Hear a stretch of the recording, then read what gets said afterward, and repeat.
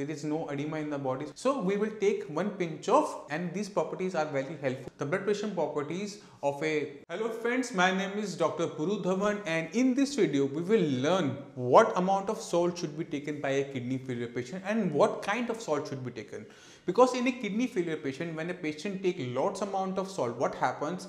This amount of salt causes edema in the body it causes accumulation of water in the body. It causes high blood pressure. And it causes further damage to the kidney which ultimately results in high level of creatinine in the body. And if a kidney failure patient goes on salt free diet what happens? Because of absence of salt the food intakes goes down which ultimately results in wasting of muscles and which causes further complication in a kidney failure patient.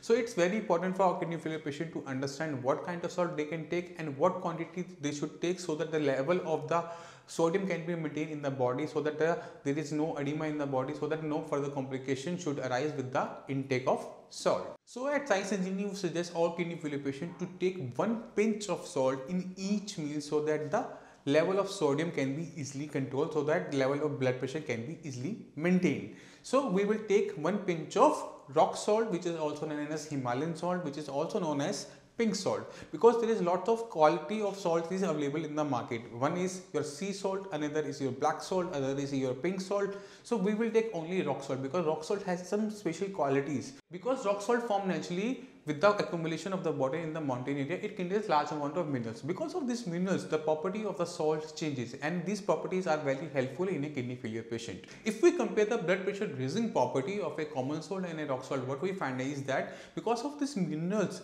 the blood pressure properties of a rock salt is much lesser than due to a common salt. That's why we at Science Engineering suggest all kidney failure patients to take one pinch of rock salt in each and every meal so that the level of blood pressure can be easily controlled. Because high blood pressure is a very common complication of kidney failure and we can control the level of blood pressure and sodium in the body with the help of right amount of salt and right kind of salt. So we as Science Engineering suggest all kidney failure patients to take rock salt and that also up to the one pinch in each and every meal so that the level of sodium and level of blood pressure can be easily controlled so that the patient of kidney failure can have a non-complicated life. I hope with the help of this video you understand the importance of salt in a kidney failure patient. If you have any kind of question query regarding kidney failure you can simply call our doctors on the number given below. You can also book an appointment with me on the same number. With this allow me to say goodbye see you in the next video. Bye bye.